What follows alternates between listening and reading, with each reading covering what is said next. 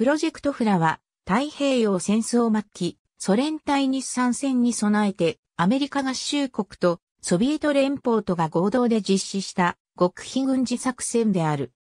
1945年5月から9月にわたって、米国はソ連に対し総海底55隻、上陸用、終艇30隻、護衛艦28隻など、計145隻の艦船を無償対応。この時期、アラスカ準州、コールドベイのアメリカ軍基地に、米軍スタッフ約1500人が常駐、ソ連兵約1万2000人が集められ、艦船やレーダーなどの習熟訓練が施された。1943年に建造されたアレンタウンの場合、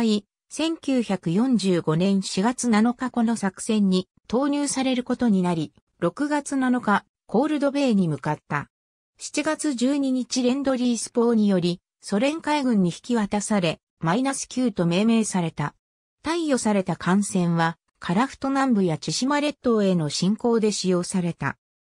ジャーナリストの阿波野仁志優は、事実は、北海道新聞の報道後、釧路新聞と根室新聞が報じたが、全国紙は無視した。現代史の中で語られる出来事は、今の政治に直結しているケースが多いため、こうしたことは多い。日露首脳会談の時だけ、賑やかになる、北方領土問題も、その実、四島をめぐる、現代史の根本事実すら国民には知らされていない。と発言している。ありがとうございます。